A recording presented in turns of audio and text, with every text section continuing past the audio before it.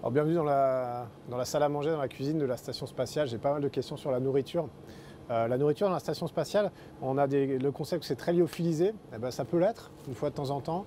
Euh, comme par exemple ici, on a, qu'est-ce qu'on a? On a des tomates, euh, des artichauts.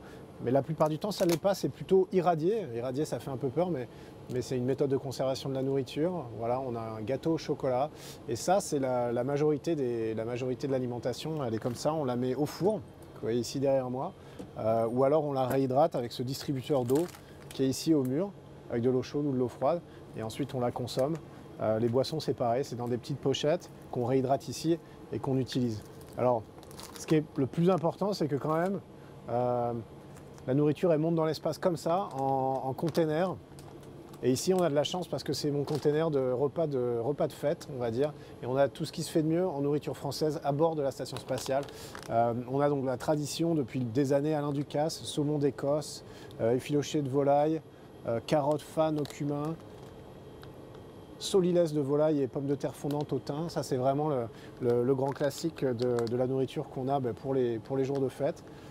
Euh, ensuite, on a Thierry Marx qui m'a fait de la nourriture pour euh, des plats pour ma dernière mission et pour celle-là aussi. Euh, ici, on a un bœuf aux champignons, on a un gâteau avec des amandes et des poires ou un millefeuille de pommes de terre. Encore une fois, qui se présente cette fois sous forme de, eh ben, de boîtes de conserve qu'on ouvre et puis ensuite on les consomme. Euh, le, dernier, élément, ça je vais vous montrer, euh, ça a été fait par la Cervère, le traiteur d'Air France, donc, euh, que j'ai eu l'occasion de, bien connaître pendant que j'étais pilote chez eux. Et ça se présente sous, sous forme de pochette. Et ça c'est délicieux. Je vais vous montrer, on a des crêpes Suzette. On a un risotto euh, d'épeautre. Et on a du bœuf bourguignon. Et ça, c'est vraiment les plats qui ont été faits spécialement pour ma mission et qu'on va retrouver ben, à chaque fois qu'il y a une grande occasion avec les collègues russes, avec les collègues, américains. Euh, moi, j'ai tendance à sortir la, bonne nourriture française pour les invités, ça fait toujours plaisir.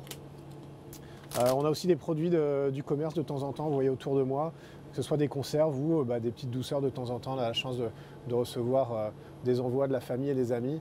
Euh, et moi, c'était plutôt, le- chocolat. On a été ravitaillé pour, quelques mois. On peut distribuer ça à tout le monde. Encore une fois, on partage beaucoup les, dîners dans la station.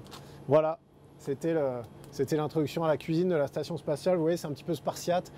C'est plutôt le, camping on va dire pas l'hôtel, pas l'hôtel 5 étoiles, mais ça nous suffit bien en tout cas pour 6 mois de mission. Bon appétit à tous, à bientôt.